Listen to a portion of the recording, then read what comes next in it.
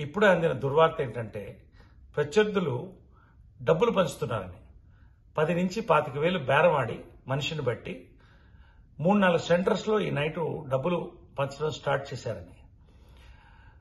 అందుకనే మేనిఫెస్టో కూడా రిలీజ్ చేయకుండా ఒక భరోసాతో డబ్బులు మమ్మల్ని గెలిపిస్తుంది అని మెంబర్స్ని లోపరుచుకుంటున్నారు.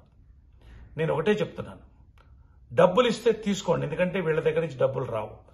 నేను కరోనా టైంలో పదివేలు పంచితే దానికి చాలా కమెంట్స్ చేశారు. ఇప్పుడు ఎలక్షన్ కోసం డబ్బులు పంచుతున్నారు. డబ్బులు ఇస్తే తీసుకోండి. ఓటు మాత్రం మీ మనస్సాక్షికి వేయండి విష్ణు ప్యానల్కి వేయండి నేను అంతకంటే కోరను. This is my last video for this election అనుకుంటాను. అందరం కలుసుకుందాం. ఓటేద్దాం. నేను అబద్ధాలు ఆడను. తప్పులు చెప్పను.